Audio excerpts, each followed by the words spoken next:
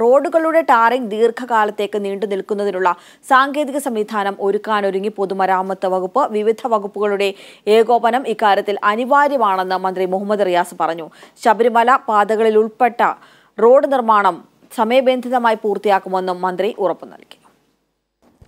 ശബരിമല റോഡുകളുടെ നിർമ്മാണത്തെ പ്രതികൂല കാലാവസ്ഥ സാരമായി ബാധിച്ചു.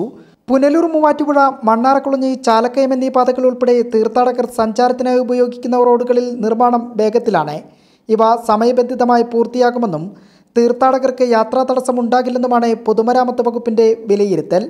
വകുപ്പ് നിയോഗിച്ച പ്രത്യേക സംഘത്തിന്റെ പരിശോധനാ റിപ്പോർട്ട് കൂടി മന്ത്രിയുടെ അധ്യക്ഷതയിൽ ചേർന്ന യോഗം ചർച്ച ചെയ്തു. തീർത്ഥാടകർക്ക് റോഡ് ഉപയോഗിക്കത്തക്ക നിലയിൽ പരമാവധി വേഗത്തിൽ രാത്രിയും പകലുമായി നിർമ്മാണം നടത്തുവാൻ ഇപ്പോൾ നിശ്ചയിച്ചിട്ടുണ്ട്. നേരത്തെ തന്നെ അതിന്റെ കാര്യങ്ങൾ ആലോചിച്ച് പോയതാണ്. മണ്ണാറക്കുളത്തി ചാലക്കയും പാത.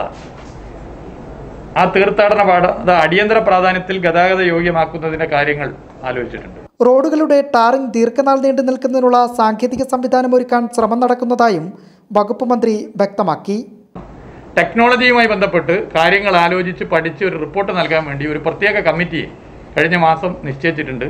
അവർ അടുത്ത മാസം അതിന്റെ റിപ്പോർട്ട് നവംബർ അവസാനം അതിന്റെ റിപ്പോർട്ട് നൽകി.